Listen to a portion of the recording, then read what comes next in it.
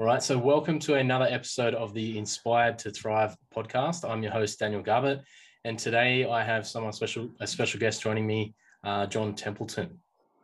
So I've known John Templeton for quite a few years now, and he's been a big catalyst in the journey in my life. And I'd just like to introduce him formally first uh, before we get into the conversation. So, John is a mind, emotion, and life architect and international speaker with a passion for supporting others to achieve greatness in their lives. So, he is a Guinness World Record holder, national bodybuilding champion, and ex special forces and celebrity trainer, as well as he's speaking on stages alongside Tony Robbins, Les Brown, Dr. Deepak Chopra, and Dr. John Demartini. John has coached Olympic athletes, professional sports teams, CEOs, multi million dollar business owners, military and service personnel, as well as thousands of other people through his life changing events and programs. So, John, thank you for joining me today. Dan, thank you for having me today. Yeah, it's uh, it's exciting. I've been wanting to get you on the show for a little while now, and um, glad we're here. But uh, like I said, you've been a big part in my journey. I remember uh, I came across you on Instagram, like maybe three or four years ago now when you were doing I think it was a fire uh, an event you were running on the Gold Coast here called Fired Up. I think it was called Fire Up. Fire Up, Fire Up, and um, I was starting to really explore personal development at that time and learn about um, you know beliefs and you know internal stories and just making those changes on a deeper level. And um, I could I was really connecting with what you were talking about, and so that was like uh, what really intrigued me to reach out and speak to you. And, you know, four years later, you know, big changes in my life. But along that path, I've also witnessed a lot of the, the your growth as well. Like, you know, watching you online, um, also knowing you on like a, a closer relationship as well. But just seeing the the journey you've been on has been really inspiring. And um, you know, I've I've noticed that one thing that you do really great is you you know you go all in on what you're doing and you push. You know you, you, push you push what you're doing like uh you achieve things at a really high level. And you can see that in your bio and you know as well as what I've witnessed since the time that I've known you. And so today I'm really excited to get into some of that psychology and the strategy around what allows you to you know uh, experience those things. Or uh, the thing that comes to mind for me is like you know really allow you to get get what you want or get what you say you want. So, um, what would you say is uh, what would you say like some of the catalysts were for you in your journey, like on your path? Well, my journey started when my parents had sex. So I don't know what the catalyst for that was. uh, so is there a specific time you mean? Like I've had a lot oh. of adventures in my life. You know, I spent uh, a year traveling around the world, taking a lot of drugs, and that's a different catalyst to going into personal development and starting businesses. So, yeah, which, hmm. which so part... if, if, I was a bit more specific, like, I mean, um, like one thing I see is like uh, there's there's people who who say they want something and they go out and they they pursue it and they they fully experience and achieve what it is that they want at a at a like a high degree at which they want it. And then there's other people that I've witnessed, and even myself personally, at times where um, there's things that I have said that I wanted, or people that uh, they want something, but they, you know, either fall short, they don't achieve what it is that they say they want. And to be more specific with my question, was I there get... a catalyst in in your life which allowed you to develop this? Uh, I don't know if it's like a drive or a uh, absolute certainty that you'll achieve at that high level, or I say this to a lot of people because they ask me, and and I don't want to put other people off, and I'll explain it soon. But I got lucky somewhere along the line. I got lucky because as a kid, I was successful yeah. at sports but not successful at other areas of life. You see, all of us get dealt some cards, right? Mm. And in the Western society, the hand I got dealt wasn't a bad one in terms of like I, I, I actually started very skinny and very small. I played football and I played football in England where I grew up as a kid and I did really well. Mm. And so that I, like I don't know what the catalyst for that is. Some, you know, doing exploring my childhood, it was, you know, mum didn't love me, so I had to be a good athlete to get her love. Whether that's 100% true or not, I don't know. But that set me in a really good path for physical achievement, right? And so if you look at my bio, it's all physical achievement. Um, Guinness World Record, you know, bodybuilding champion, even in the military, being very successful, CrossFit athlete. All of it's physical. Mm. Now you compare me to someone who crushes it intellectually. I like I suck. Mm. I'm not good there. So the, the it's like what I think we all well we do. We all have genius. We all have some genius, and when we live true to that genius, we Mm. thrive. So for me, it was the athletic side of things is really where I thrived, um, and the confidence that I got from that Mm. I could take into other areas. Um, but you know, if I tried to do something that is just seriously not a strength of mine, it would take me maybe a lifetime of work to get average at it. Where if someone Mm. was already, you know, been dealt those cards, it would take them years of work to get great at it. So that's the way I see it. Gotcha. That's that's super interesting. So, do you think that uh, like genius is that something that a person is born with, or is that something that's um, uh, just the condition of their childhood? Both. Yeah. So it's genealogically, and Mm. you can. Tr- so look at someone's genetics, right? They're going to have certain things they're probably better at and not better at genetically. Mm. and you can chat you can track back genealogy now like generationally i think they're tracked back eight generations but i can guarantee the law of cause and effect says that you could just track it back forever you could track it back to the start of man you know Mm. so so genealogically you've been um let's say your parents were born, they became conditioned through epigenetic expression, their genes changed, right? Your parents' genes from birth to death were, or birth to your conception would have changed through epigenetic expression. And then you're born or you're conceived from those genes that, you know, your parents are currently um, Mm. ha- currently activated by. So you've got your gene- genealogical expression, and then through your upbringing, first off, unconscious in the womb, and the first Mm. couple of years, quite an unconscious state, you're being very highly conditioned. Mm. And then you have your life lessons, which condition you, and again, change your genetics as you're growing. So it's all of it. All of it is where your genius is kind of built because all genius is in my in my belief system your genius is you have abilities that are unique to you. Everybody is unique. And i described this the other night on a live video. It's like a rubik's cube right?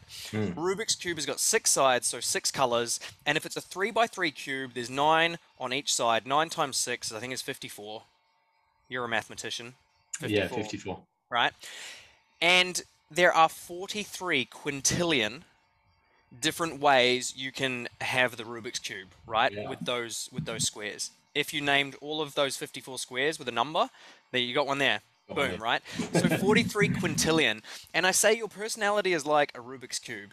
It is Mm. there's 43 quintillion different options. You know, it, from all of the genetic expressions because you Mm. get some people that look quite similar. You're like, oh, I've got a friend. I remember I was in, in Disneyland Mm. in in in France with a friend, and we saw this girl that looked like one of our female friends from back in New Zealand, and it was like they are literally identical. So genealogically, they would have had some really similar expressions, but I can guarantee you, through their conditioning and other things, they would have uh, also very different personalities. So your genius is your specific personality. It is your, you know, people use the word your authentic um, self or your authentic expression. That's your genius. And when you play to that instead of being conditioned by what society thinks or what your peer group thinks, that's the big one through school. Is you try and fit in, then you're you're not being your authentic self, and you're going to be outside of your genius. Yeah, so that, that kind of reminds me of like, uh, have you been, have you looked, I'm sure you've probably looked into the Myers Briggs system before, and it kind of reminds me of like that, the flow state in that system, like, uh, like the, the driver in that driver in the car, it's like where your, where your natural, natural capacities lie. Is that kind of with the same sort of I would say so. I mean, I know Myers Briggs, INJT, or whatever it is called. Mm. Is that what you mean? Yeah. Profiling, yeah. but I didn't yeah. know there was a flow state. But I'm assuming it's just when you're in your type, you're mm. at your best. Yeah. Yeah. Cool. Awesome. And like, uh, what would you say, like, for you know, a person listening, where's the best place to start to even try and understand or unpack what your genius, what your genius is? I mean, like you were talking a lot about like genealogically and uh, epigenetically is going to really affect, really affect like who. Forget who all that.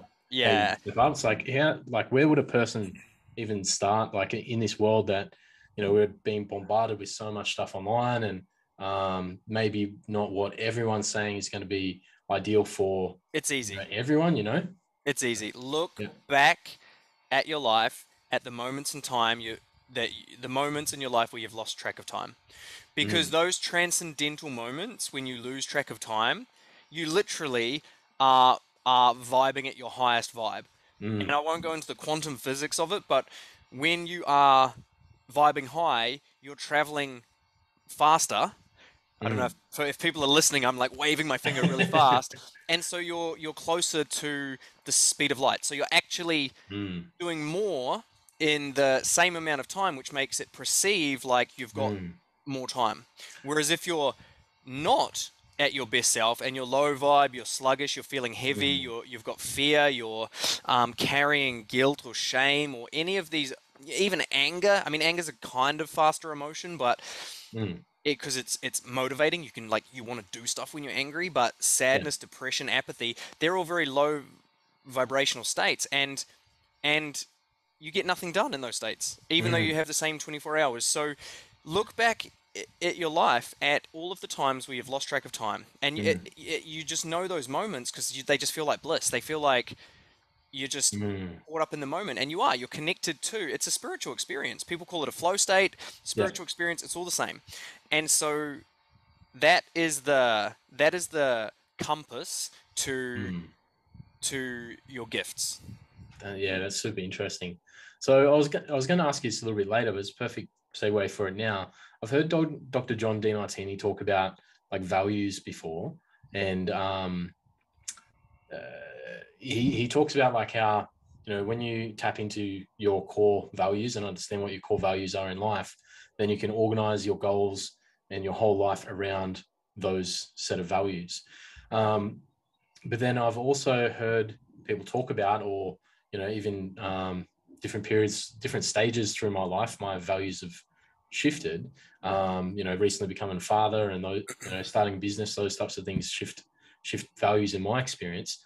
Like, uh, if a person's got like a, a goal or a target or something that they want to achieve in their life or move forward with, is it important to like set those goals around your values, or is it important to like identify values to support that goal, or is it a mix of both? the reason I ask is because like I know one thing that I uh, I love hearing like when you when you're speaking about is is like internal congruence, and I know that if I'm not aligned with my values, I don't have that internal congruence.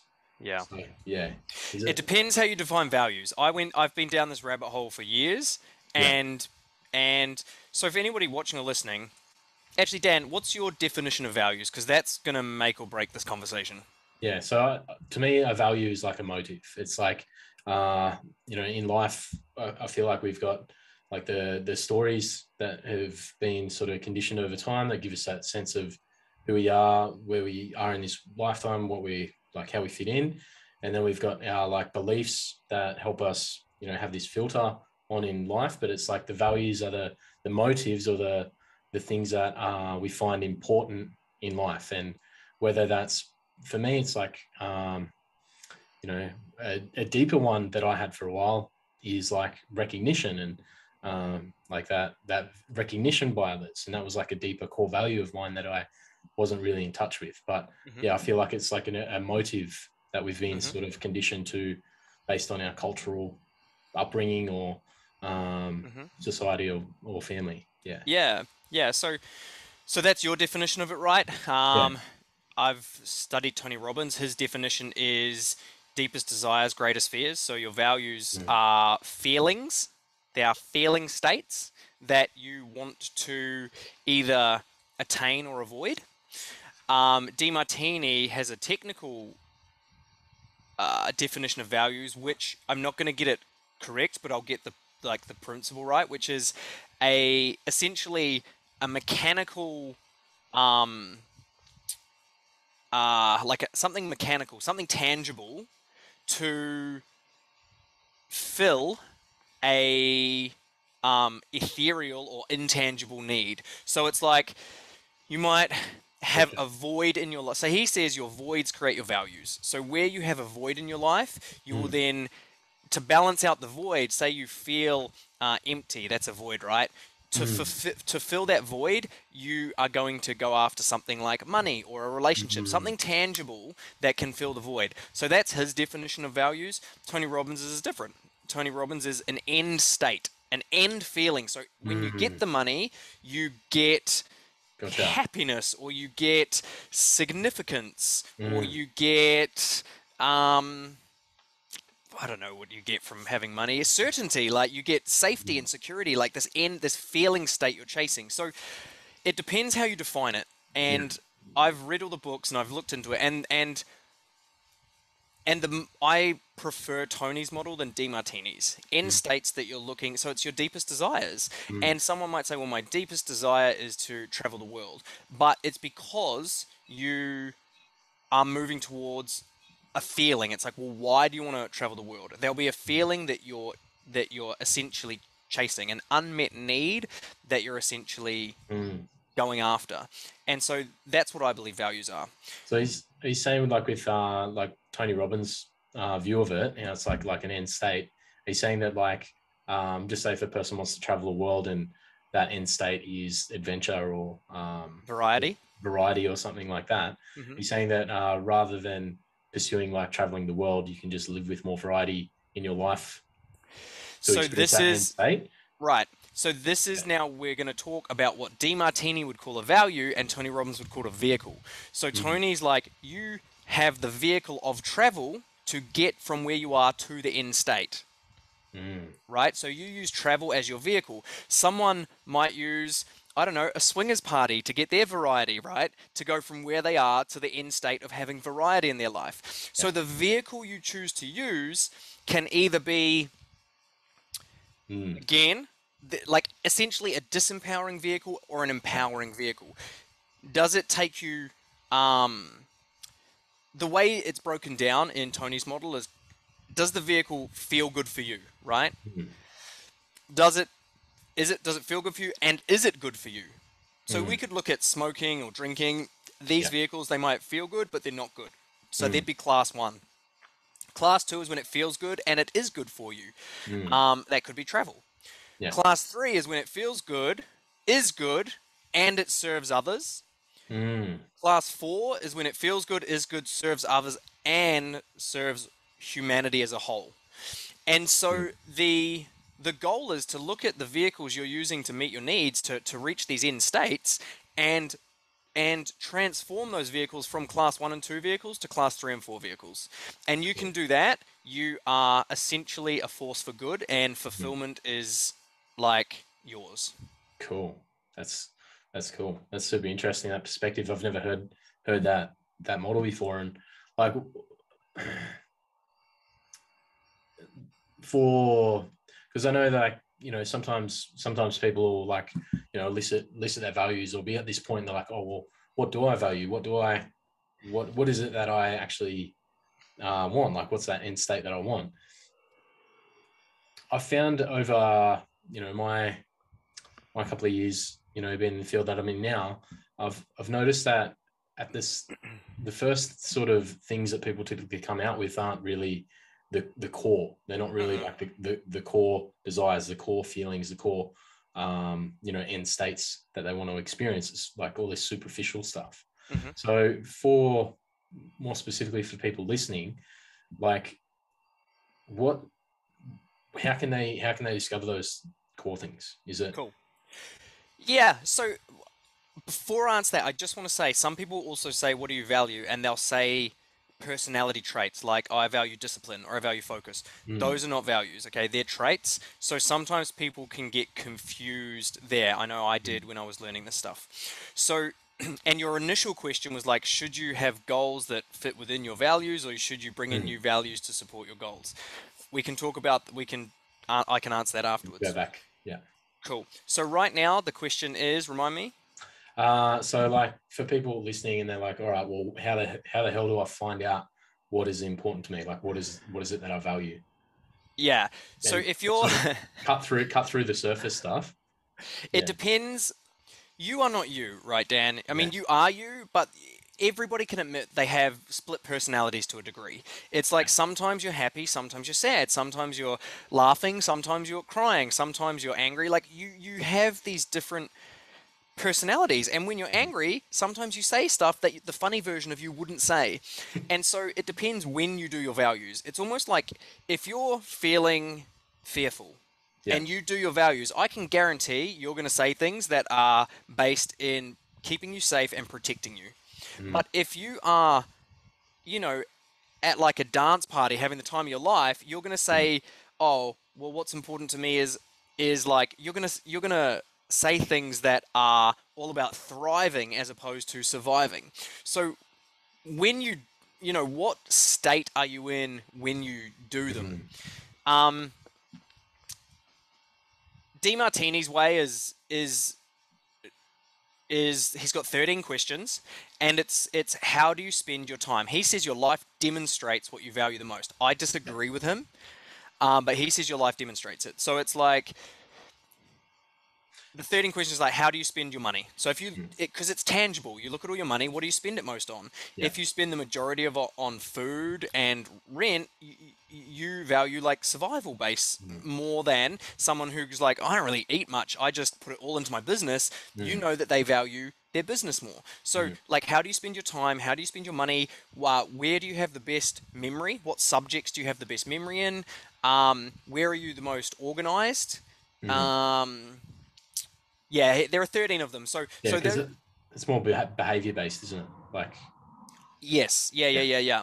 But that, that, and that's why you come up with like mechanistic things like business, relationship. They're not mm. feelings, right? They're not feelings. So in Tony's model, it's about feelings. So you just, you just literally ask yourself, what mm. feelings do I find myself desiring the most. Um, I haven't been through Tony's trainings. I've just studied and- read books and things like that. But yeah, yeah, that's that's the methodology for myself. When I take people through it, I go back to those transcendental moments, Mm. um, and because that's that's your really your highest value.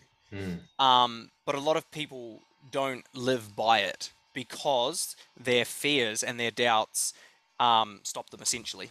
Yeah. Mm. Yeah, right. So, uh, yeah, a couple of questions came from that for me, but I'll I'll circle back to what we mentioned first. Like, uh, based off based off that, do you see that it's uh, more effective or beneficial for a person to like set goals within within those uh, values, or is it Yeah, more you beneficial to you know change change what you value to achieve a goal?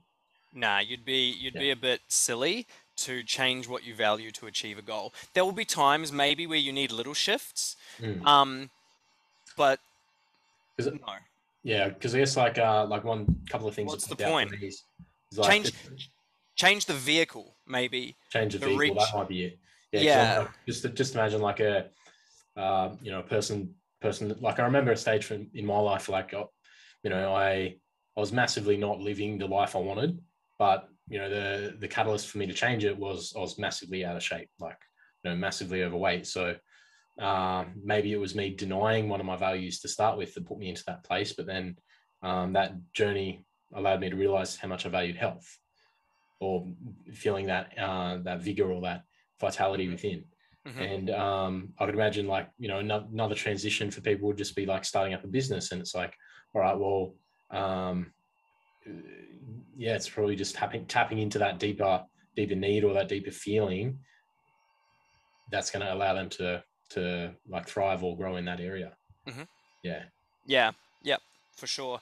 And like this is why most people fail their New Year's resolutions is Mm. because they they're not tapping into their truth. They're saying it because society says it. Mm. So they're out of their genius. If you if you you when you're in your genius, you won't fail. Yeah. It's not to say in the short term you won't have obstacles and setbacks, but you won't fail when you're in Mm. your genius because it's it, it will give you so much energy that you'll literally I say to people, you'll walk over broken glass to achieve your to, to live your purpose because Mhm. it's it's just who you are born to be. It's who you are. And Mm. so and so the the people that maybe don't achieve their goals or whatever, they're not they're not in their values or in their genius. Mm. Yeah, for sure. Yeah, and one one thing that popped into mind for me, I forget who said it, but um, it's like um, to be yourself in a world that's constantly trying to make you something that you're not is one of the greatest achievements in life. Mm-hmm. And um, eh, I- obviously, a big part of that's like the conditioning that people are exposed to throughout their life. For um, for what you mentioned like earlier on, when you said like you know it's so important to be in these you know these flow states or these empowered states to actually first of all identify what you value and identify what you want to achieve in relation to the to your values like uh it's obviously important important then like you mentioned that it's not always going to be that state you're going to be going these ebbs and flows or you know have other other moments in your life that sort of pull you out of those states um like how is it that like you have like you stay focused on what you want like like uh i suppose that come down to like some strategy or some um some routines in life that that you sort of build out around that or Yeah. The first thing you just have to know is what do you want? What do you Yeah. want in life? And what are you prepared to die for? What uh, you know, what hill are you prepared to die on? For for a mom, it might be to protect the children. Like for a mom, it's like I will die before you touch my child, right?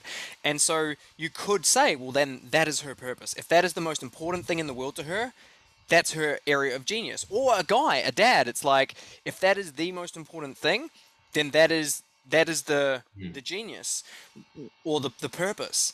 And so getting really clear on what you are willing to die for. Mm. And not just say it, I mean like in your body, you would rather die than not achieve that thing or not uh, not experience it because achieving is I don't know, it's kind of like you tick it off. When you're Mhm. living your purpose, it's not about ticking off. It is about being it, living it, experiencing it. So and some for a lot of people that's created through pain. They go through a painful experience and then essentially they want the opposite or they want to protect people from experiencing that and so they Mm. they come into a place of purpose. Mm. Um, or it could be money related. When, when we talk about the creation of values, it's essentially, as Demartini says, your voids create your values. So you experience the pain, you want the Mm. opposite of it, or you experience the pleasure and you fucking love it so much. Mm. So so that that quite often the people that have been through the most pain will be very in touch with their purpose because they're like and, and it is a it is a crossover of their their genius, their gifts, their talents with that um you know the, the pain they've experienced and then wanting the opposite. Well how can i not experience that again or how can i support others to not experience again so there's like this i say your purpose is the sort of intersection of self-expression and service so it's Mm. you being your genius and and serving serving if you're Mhm. not serving you you you won't be living your purpose. But Mhm. serving can come in many ways shapes or forms. Like an athlete is serving a crowd. Like you're, you're meeting the needs of others for, for Mm. entertainment so to speak. Look at a comedian. You're Yeah. you're entertaining crowds. So yeah. It kind of sounds like it's uh, like a bit of a, I don't, I don't want to call it a psychological switch, but it's kind of like this switch that's going on in your mind to, like, uh, like take your focus off off yourself and putting it onto the the the mission yeah, the greater, yeah, the greater purpose or the, the the people that are benefiting from it or the, yeah, that's interesting, really interesting. yeah yeah. and when your when your life is in survival, you won't even have an opportunity to experience the op- like love. Mm. You won't have an experience to an opportunity to experience that those moments of transcendental bliss because you're so focused on preservation. There's Mm. no opportunity because the more you pre- preservation is self. It's separate Mhm. from others. It's like how can I preserve? Whereas once you get out of survival, you you it's no longer about preservation. It's about we. So that's really the when you say there's a switching point, it is. It's it's once Mm. your your needs are completely met, Mm. um, and you feel fulfilled essentially, the switch is oh well, Mm. I'm good. Like now I'm gonna give back to my human family. Yeah, cool. That's cool. So, um, like you know, just say just say a person listening, and they're like, all right, well, you know, right now, right now, I don't have the needs met. Like right now, just say my my relationship's really suffering, and that's causing like a lot of conflict in my life, or my health's really suffering, and it's causing a lot of conflict in my life. So it's just having that ability to like really dial in on that specific need that's not being met, or that specific area of your life that's not being met. You know, resolve it, and then once that resolves, it's going to create that space for something more to come from. Yeah. Yeah. Give me one second, Dan. Right? Artie, enough. Um, sorry, dogs just went mental. That's totally cool. They just went into survival mode. Um, so yes, you have to fill your own cup up first, and that's what the first part of life really is. It really is getting your stuff together. Mm. You know, and some people never come out of survival mode. They really they don't, and that's just their journey. Um, the ones that, and it's not fulfilling. You're Yeah. constantly more, more, more. I don't feel safe. I need to protect myself financially. I need, you know, a better car so people respect me. It's it's it's all feeding the the ego essentially. Um, but yes, the and there's two ways to do it. You can you can have more things, right? Mm. And so so this is the the, the saying is you can either change your perception or change your procedure right? So changing your perception is changing the way you look at it. Are your need mm. are you really in danger? Are your needs not fulfilled truly? Mm. And you might be able to change the way you're looking at it and get your needs met internally. Or mm. you change your procedure it's like well my job is not fulfilling me therefore i'm going to get a new job. And so i say you, you do both. You do both. Changing your perception is um, what i would do in the, the the short term because that's if you can just be totally happy within yourself Mm. you're good to go. Um, but also changing your procedure because other people are also out there, potentially in survival mode, potentially not um, working towards your best interests, and you might have to strategically position yourself or do a job or change career or change, you know, your spouse or your partner, do something different to actually get your needs met. And that's where conditioning comes in, and a lot of people are too scared to make those changes. Mm. Can you give me one second, Dan? They're still going, and I just want to make sure the mailman just. Yeah. Awesome. So, uh, you're saying that, um, yeah, some people are just too f- afraid or too, um, you know, un- too afraid of that uncertainty of changing and, um, you know, putting himself in a new environment or changing a relationship or just just letting those circumstances go. And um, yeah, I feel I, I feel I can probably speak like uh, like personally on one of those like uh, around that is like you know I remember like for me growing up I was always like the quiet guy always you know the shy guy always never would be outward, outwardly spoken um you know just always taught to you know just respect listen and you know not speak up in different situations when I was younger. And for me like actually putting myself into a position now where you know I'm pretty much uh, a leader for others now in in certain respects. And like you know that was that was quite quite confronting at the start. You know i was like fuck like like one of the biggest things for me was like you know like speaking in front of the stage or um you know changing the way that i was speaking. Like i was always like monotone. And i found that i know this is something you've touched on as well before. And it's like we're so conditioned to speak in certain tones and like uh certain vocabularies that like when a person starts changing even those things about themselves it's like it can feel like it's uh super uncomfortable Yeah, yeah, yeah, for sure. and I mean, it really is down to that. Even getting a haircut, I say to people, when did you decide that your haircut was your haircut? Like, mm. like, why don't you have long dreadlocks? It's it's conditioning, and people don't even think about it in their day to day life. Like, why do I look like this? Mm. Why do I choose to look this way when I can change how I look by growing facial hair, shaving, um, you know, mm. dyeing my? It's all and so your voice absolutely is the same and you can you can train it to be different um, mm. i moved from england to new zealand as a kid and i lost my accent in two weeks it's conditioning mm. it is conditioning so we are way more conditioned than we even realize and so a lot of people are just literally walking around as robots mm. like and they don't question they might question why is life like this, but they don't do anything with it afterwards. Yeah. But very few people even question it. They just literally live as a as a human robot. Um, and when you when you see that and understand how, the transformation can occur, that you can achieve anything you want, mm. um, yeah, that's when life gets exciting because mm. you can create you. You yeah. can you can recreate you in any way you want, and the the what what people really need to do is recreate themselves in alignment with their genius, with their purpose, with their gifts, mm. and that is when they're going to just succeed and be way more fulfilled. Bloody earth! Yeah, I think uh, I think I read in a book by PD PD Ouspensky, uh, the psychology of man's possible evolution. He speaks about speaks about that to a degree. He's like society will develop a person to a certain extent, but it's only through their own pursuits that they can achieve something greater. And um, yeah, he, he talks about there being like two conditions to to achieving that. It's like you must know what you want, and you must want it really bad. Like you must want it enough. Believe to, it's possible. Yeah, to keep going with it. Yeah, you know, and um, yeah.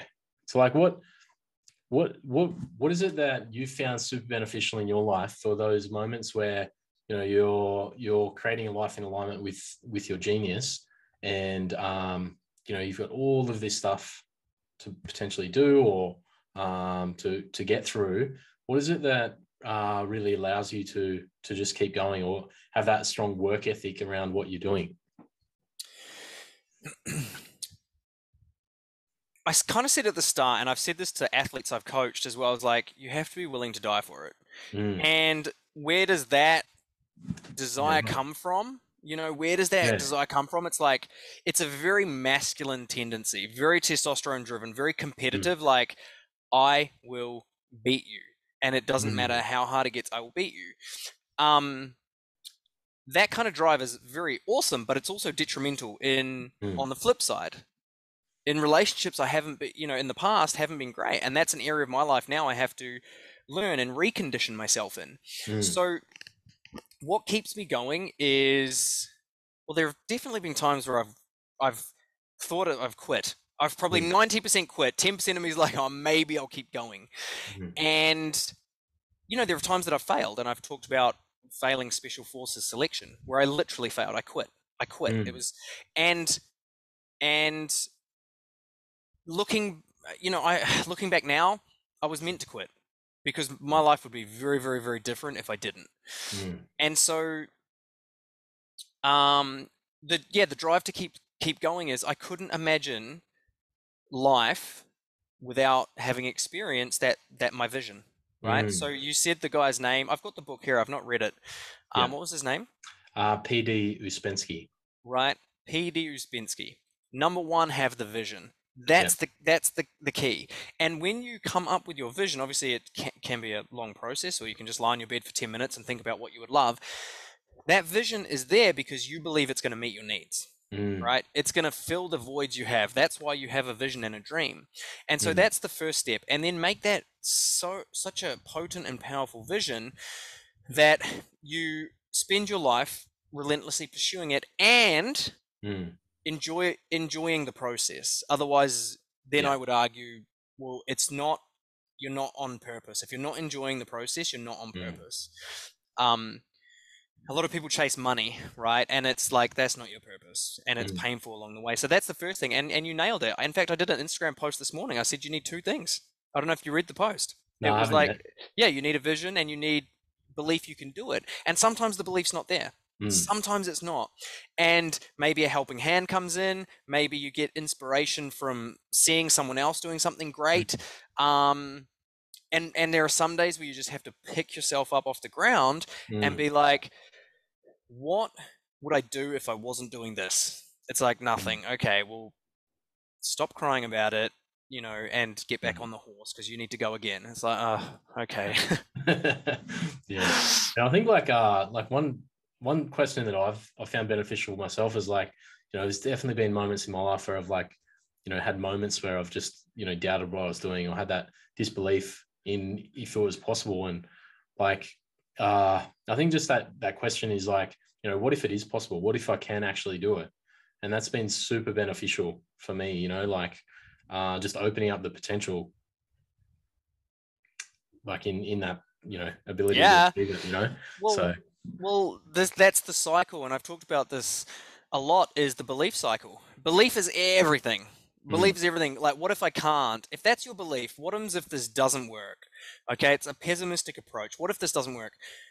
You're not going to be uh, attacking your tasks or your goals with vigor Mhm. or energy. And so you put a half-ass effort in. This is what most people do. They put a half-assed effort in because deep down somewhere, they don't believe it's possible. Mm, And so they put a half-assed effort in and they get half-assed results. And mm, then they go, oh, I'm not as good as that person or that person. And that reconfirms their belief that they're not Yep. good enough, even if it's unconscious. And then they put even less effort in and it slowly dwindles down until they're like, nah, this isn't for me. Yep. Whereas if they shifted their belief, remember I said you can change your perception or your procedure. If you change your perception, it's like, well, what if this is possible? Okay, that's a Mhm. perception shift. It's like, okay, well, if this is possible, in fact, this is possible. Now I'm Mm. going to put in 100% effort, 110% effort. Those things that can could distract me, they won't because my vision is more important and it's Mhm. possible. So you put in 110% effort and you get results that equal the effort you put in, right? You get in what Mm. you put out. You put out, you get out what you put in. yeah And so by simply, and then you succeed and you go, I knew it was possible. And then you're like, your confidence rises. You feel like the king or the queen. And all it was was a shift in perception. yeah Nothing changed in your environment outside of you.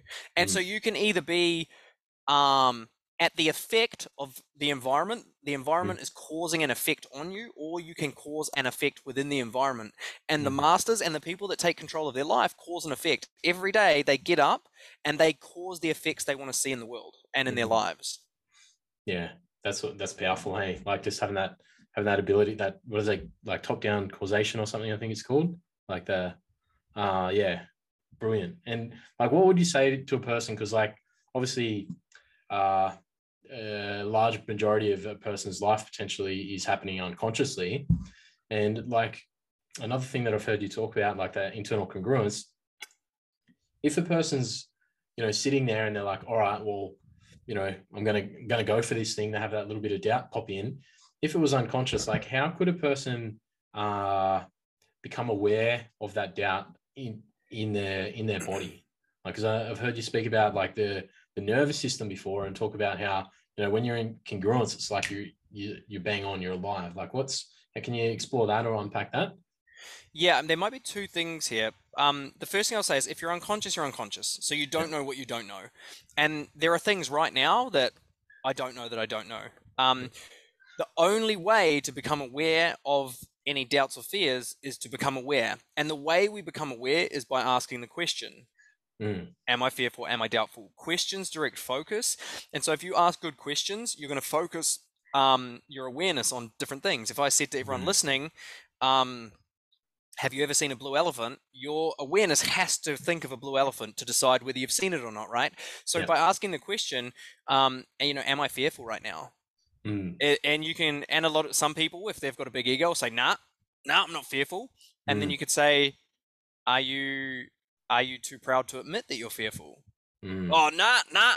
And there are some people that will outright lie to themselves their whole lives, cool? And if that's their journey, they have to wait until they experience immense pain before they change. And even then, some of them won't change. They'll just live a very unfulfilled life. So being honest with yourself and just saying, am I experiencing fear or doubt right now? Mm. Because there are some times where I'm unconscious to it, right? I'm just doing my thing and I'm scared and I'm stressed and I'm worried. And I, I've I've dropped into an unconscious pattern. Whereas if you know maybe you know I talk to you and you say, "Hey John, are you like scared right now? What are you scared Mm. of?" It's like, wait a minute, I am. And then I can start digging around. Like, what am I really scared of? Oh, I'm scared that you know if I launch this new business, I'll lose all my money. It's like, well, what happens Mm. if you launch this new business and you make 10 times? It's like, shift in perception. Oh, I feel so much better now. Cool. Now I'm going to go do it. Yeah, that's epic. So, I mean, I don't know if that's, that's, that is one form of incongruency, but you've also got mechanical incongruencies. Like you could be in a relationship that is not congruent with your vision. I was in one. So I wanted to build a coaching business in the Gold Coast, and I was at a stage in my life where I had lost my confidence a lot um, through through a really traumatic relationship. And my partner said, "Well, I want to move to Melbourne." And inside, I was like, "Well, that's not going to be good for my business, but okay." You know what I mean? So I was Mm. I was letting go of my dreams to appease someone else because I didn't feel good enough as I was. Mm. However, I went away on a course, um, did some some mind some deep mindset work, and I came back and I was like, I ain't moving. I was like, I, I said we're not moving. I was like, you can go if you want to go. I'm not going. We ended up breaking up, and she moved back to Melbourne. And so that's an example of like mechanically incongruent. Hmm. I want one thing, she wanted another thing. Wasn't going to work.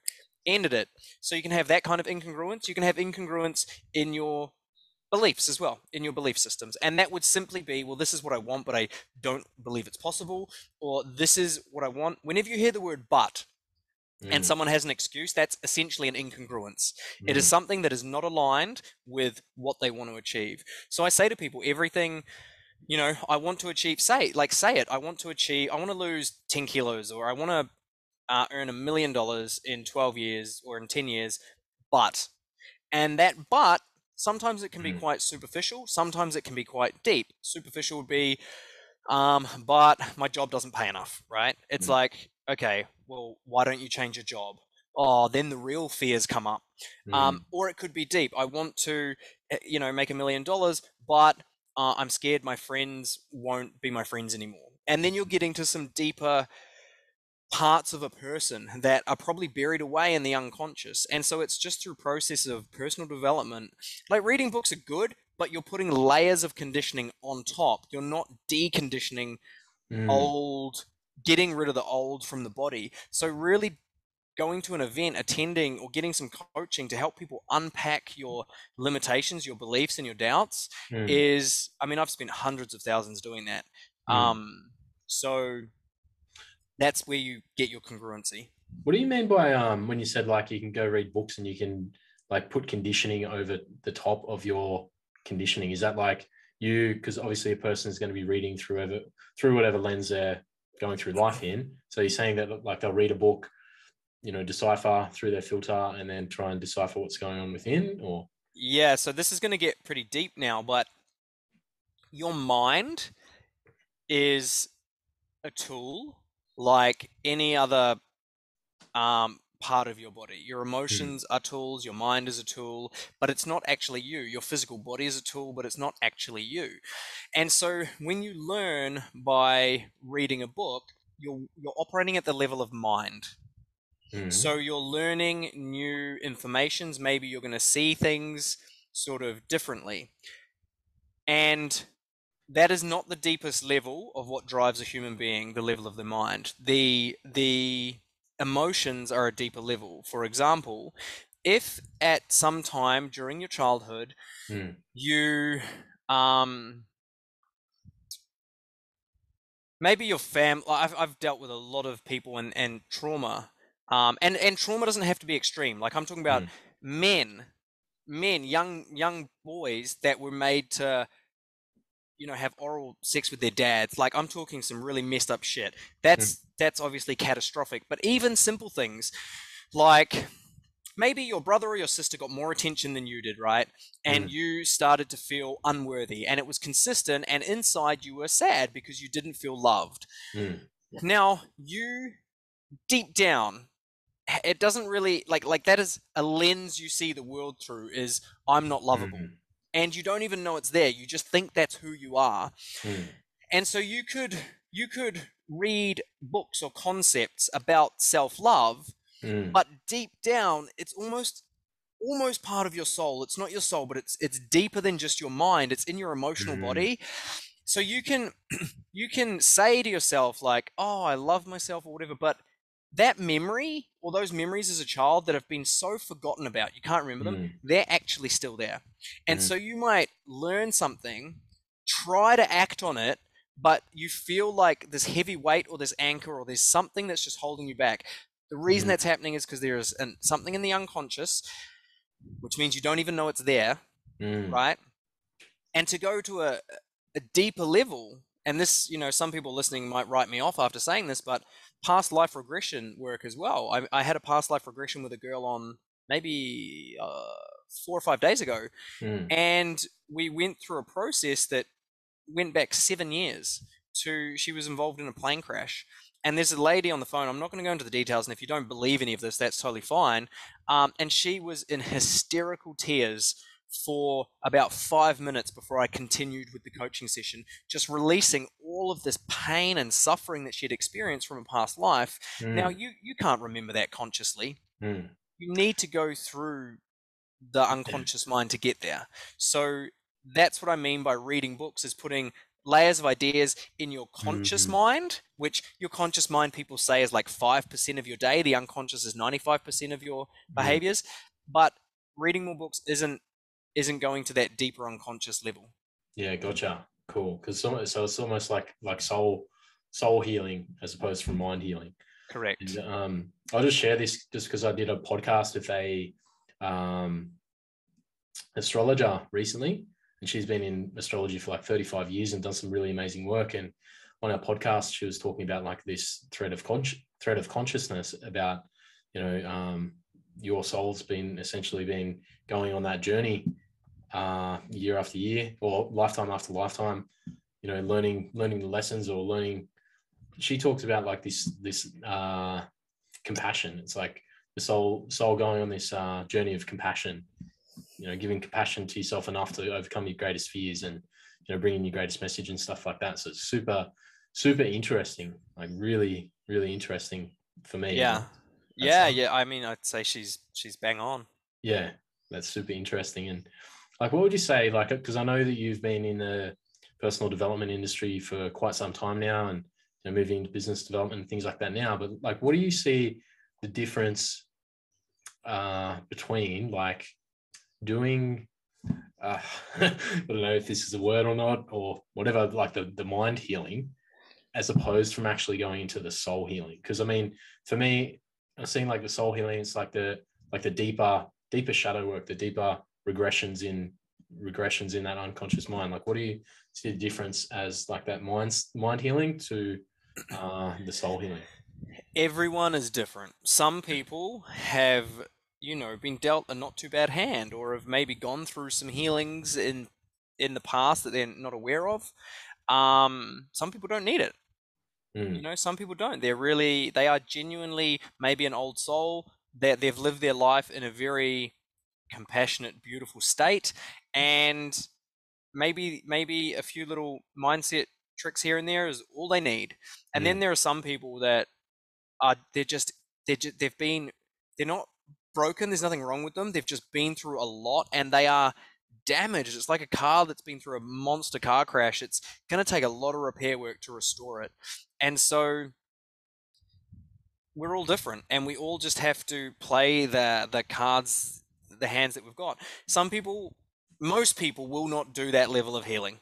mm, They, they it wouldn't even be a concept in their mind that that kind of Mhm. stuff exists. Um, and so maybe in their lifetime they just work on a few little mindset tricks. Maybe find a Mhm. little bit more gratitude, um, a little bit more self belief, and live live a really positive life.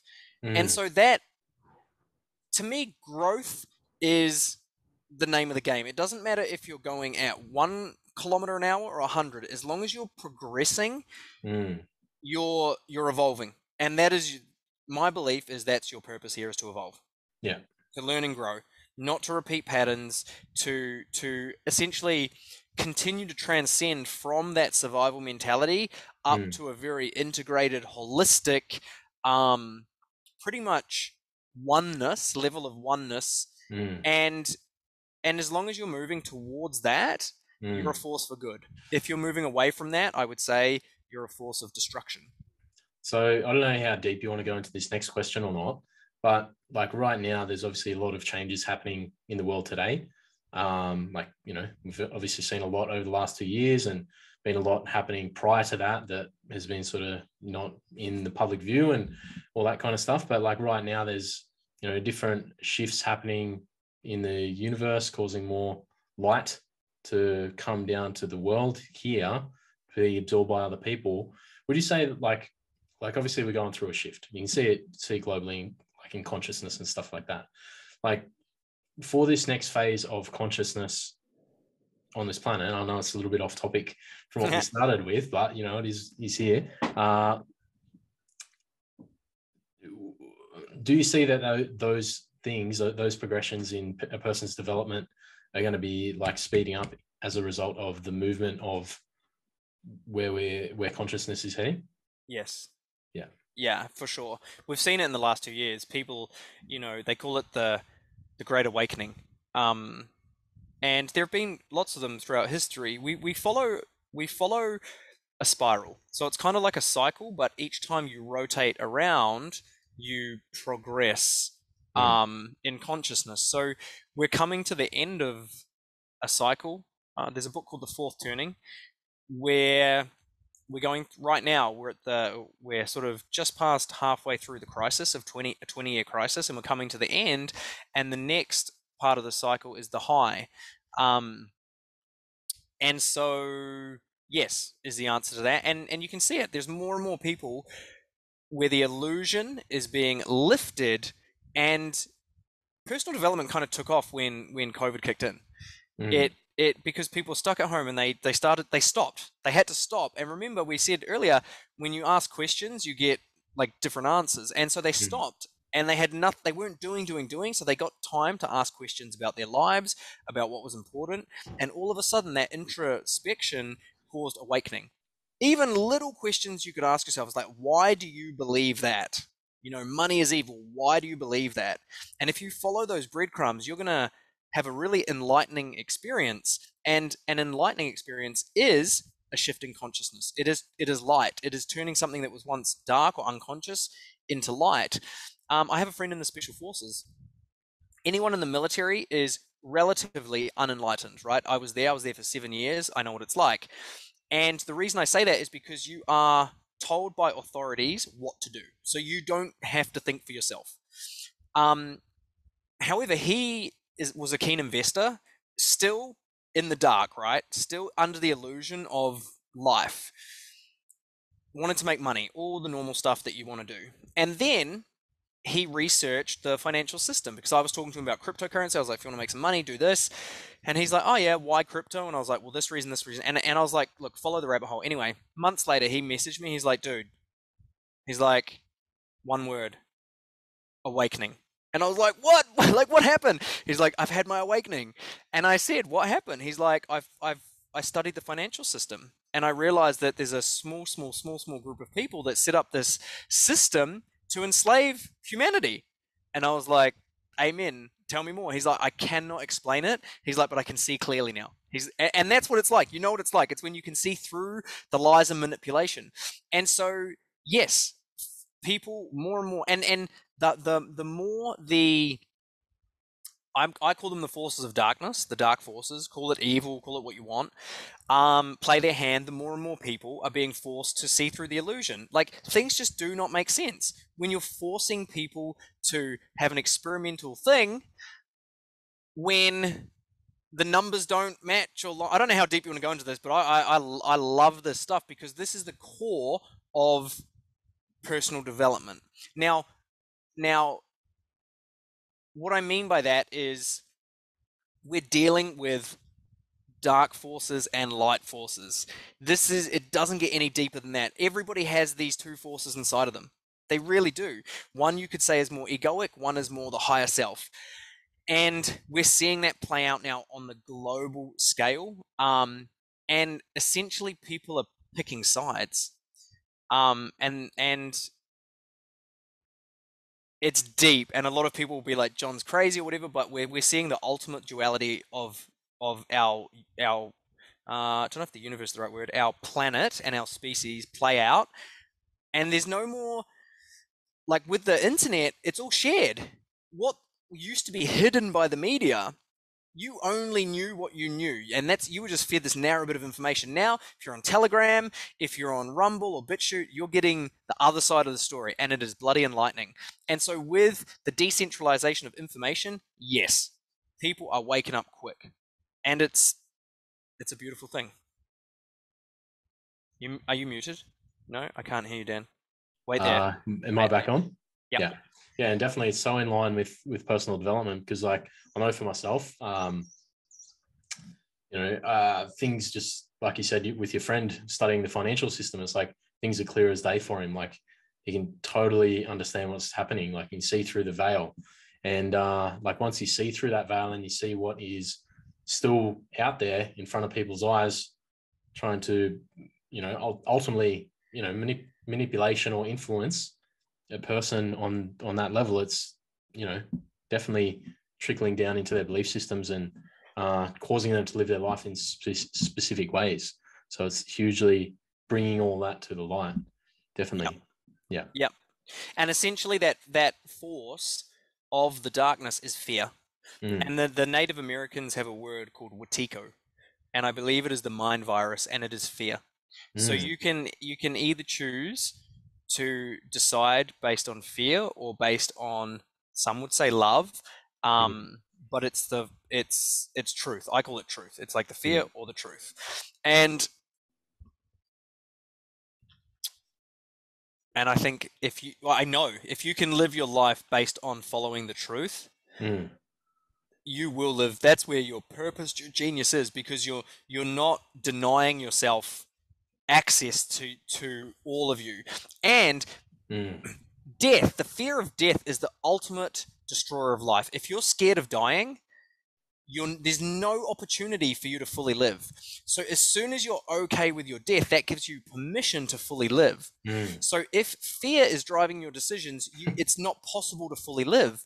So the first step, that's why I keep saying to people, what hill are you prepared to die on? Because once yeah. you're like, I'll die for this, bam, now you've got permission to live your best life. Nothing can stop you. You're just going to be, energy is going to be flowing through you. As soon as fear comes in, the energy stops flowing.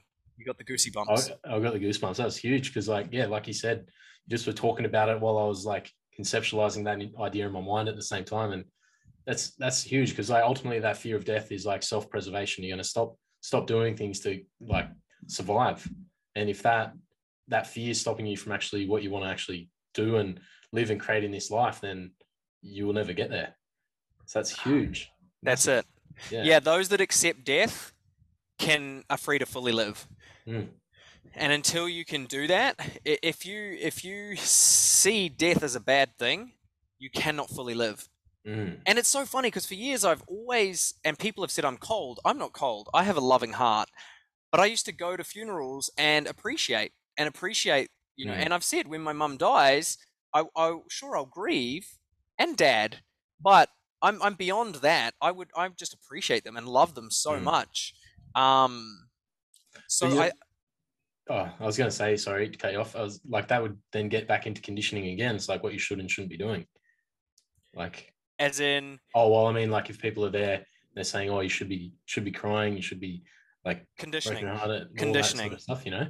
In ancient in ancient um, cultures, mm. it wasn't that wasn't the case. It was appreciation. It was a mm-hmm. celebration of life, not the mourning of death. So a mm. funeral should be a celebration of life, not a mourning of death. Mm. Uh, and yeah, absolute conditioning. Shift your perception. And that's that's when you ask the question is like, how do you know that's true? That I should be. I've I've got a cold mm. heart. Why is that true? Oh, because you, um, crying or whatever. I've just got a more empowering perception than you do. You've just mm. been conditioned, and mm. so, yeah, yeah, that's awesome. That's really awesome. And what would you say to, uh, what would you say to yourself if you would go back to like your 20 year old self? Like 30 seconds of of Mhm. wisdom that you've collected now since then? God. I honestly wouldn't change anything in the world. Yeah. It's definitely not been easy. Um, and there's been some, you know, very dark times. But I feel like if I went back and said something to him, it would have it would change where I am now, right? Mm, It would, because he would make a different decision, and I would not be here right now. So I'm hesitant to do that. Um, the one thing I would, I, if I had to, it it would, eh, like how many how long how long do I have to talk to him? Uh, let's say 30 seconds. might might be a deep might be a deep and meaningful. Um, I, I wouldn't I wouldn't do it in 30 seconds. I would just let him do what he needs to do and learn his lessons. It's not long enough to create the transformation that I want would want to create for him. So he has to do it through his own experiences. Um, but ultimately, just follow follow your heart, follow what feels good. Mm, Um, yeah, and stay true to yourself. yeah, that's awesome. And um, for people who are listening here, like, where, what's the best place that people can go and see more of your stuff, or get in contact with you, or find out what you've got on the horizons? I'll be surprised if they want to after we talked about that stuff. But um, Oh, if people are here by the end, they're people who want to reach out. um, at John Templeton official, you can get me there on Instagram, Facebook, even YouTube, and my website. So it's at J O H N T E M P L E T O N. Sometimes my accent makes I say like E's and I's and weird things. Yeah. As long as you don't say woman, that's fine. Woman, is that what I say I, I sometimes? forget. I forget what you say now, but and pen. When I was like, "Hey, Dad, pass me a pen," yeah, he'd pass me a pin to like prod, and I'm like, "No, I want to write something down." hilarious. Um, well, just to, for clarification for everyone, I'll put some links beneath, beneath the episode here. and lastly, what is uh, something that people can keep an eye out for that you're working on right now, or releasing soon, or when does this Um, podcast come out? It'll be out this? Uh, well, from the data recording, it'll be out uh, three days after. Well, if you can get it out three days after, I've got a five-day challenge coming up. Starts on uh, the 28th, and I would say it's a free five-day challenge where it's we're building an unstoppable mindset. It's called Unleash Your Greatness. So, Dan, get this out double time, and people come and join me for five days. It's completely free, and yeah, you'll you'll absolutely love it. We're gonna build your mindset. We're gonna talk about your personality. We're gonna talk about the story of your life and how to transform that so that you can reach your most audacious goals. Awesome. Very exciting. Well, thank you, John. Appreciate you jumping on today. And uh, yeah, it's been a brilliant chat and uh, looking forward to having you on at some point in the future, I'd say again, and dive deeper into some of the things that we were, feel like we were scratching the surface on a couple of things there. So we could uh, dive deeper into those in the future. Yeah, dude, I appreciate it. Thank you. Right. Thank you. Bye-bye. So, since recording this podcast, John has released his very first book on Amazon. It's called The Thriving Coach Five Essential Pillars and Strategies for Building a Successful Coaching Business. And, you know, I've known John for uh, quite a few years now, and I've seen just how far he's gone in a relatively short period of time. And, you know, listening to his podcast, you can gauge the uh, type of person that he is. He applies what he learns at a quite a high level. And with that application, he's been able to build a million dollar coaching business. So, in this book, he's put together a step by step process for taking your coaching business to lucrative heights and accelerating your success towards making a gigantic impact in the lives of your clients. So, if you're a coach and wants to scale your business so that you can gain in- income, impact, and freedom that you desire, then this book will provide the tools and strategies to help you achieve your business goals more rapidly than you ever thought possible. Beneath this podcast, I've included a link where you can check that out on Amazon. Highly recommend grabbing yourself a copy. I've ordered my one. And uh, I'm actually going to get John back on this podcast to do a podcast specifically about his book, The Thriving Coach.